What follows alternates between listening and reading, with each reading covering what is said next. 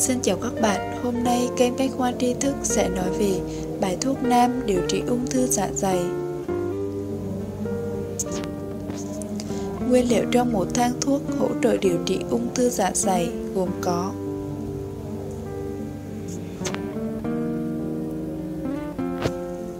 Hồng táo 6 quả, một ngọn lá thiết thụ.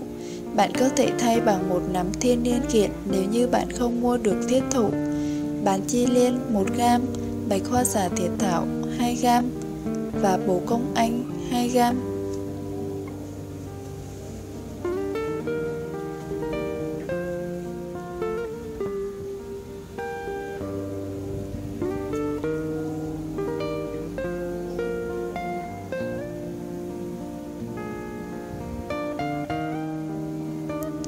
Cách dùng bài thuốc như sau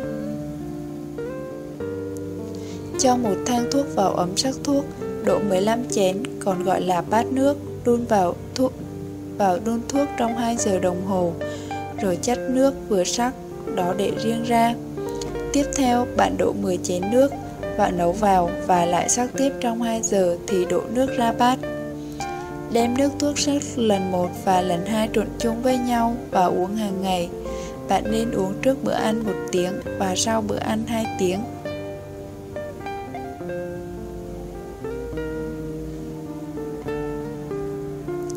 Lưu ý khi sử dụng bài thuốc nam này. Với bài thuốc này, bạn nên để thuốc nguội rồi uống sẽ tốt hơn.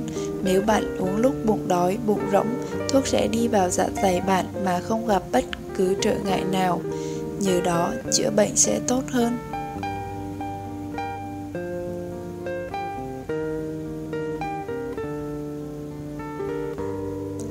Cảm ơn các bạn đã xem video, hãy nhớ đăng ký kênh để nhận những thông tin hữu ích, ủng hộ kênh Bách Khoa Tri Thức nhé.